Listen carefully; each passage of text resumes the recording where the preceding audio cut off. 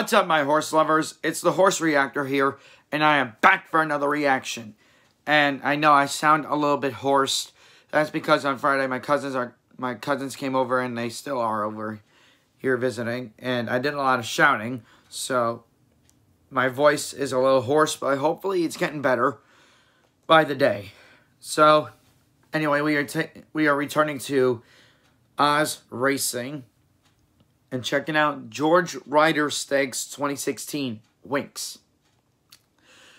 Well, for the rest of the year, we are going to take a look at Winx's career, and hopefully, I I really hope that you guys like my Christmas intro and my Christmas outro. I decided why not have an intro and outro for the holiday season and the month of December and just winter. That would go until March 20, either the 21st or the 20th. I can never remember. But anyway, let's just see what post position Winx had. Actually, no, we can't see what Winx, I mean, what position Winx has. But um, hopefully it's a good one. And we are just going to make the best of the month because I know that um, Christmas is coming up and I know I've been like separating her careers, I mean her racing career, but at least we are taking a look at it. So, anyway, let's get right to it. In three, two, one, play. And they're all set. George Ryder Stakes.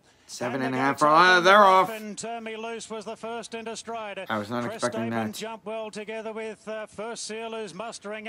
It's Turn Me so, anyway, Winks is probably second last or, or something. I have no idea. Because like I said, I've never seen Australian racing before. So now they are probably heading down the backstretch. Two lengths clear from First Seal and something. And Bowman slides forward on the There's Winx. She's number five. She's already up in the third.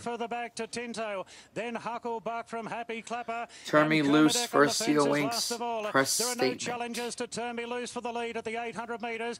Two lengths clear from first seal and Winx is getting I'm guessing six and eight are stablemates. I mean, owned by the same person. So turn me loose is leading. First seal is coming after. So is Winx. And Winx is on the outside, turn it for home. And Huey Bowman just lets her run. He's like, see you later, suckers. and my God, just look at her go. Winx is now taking control of the lead in the final 100 yards or meters. Final furlong. Winx gallops under the line.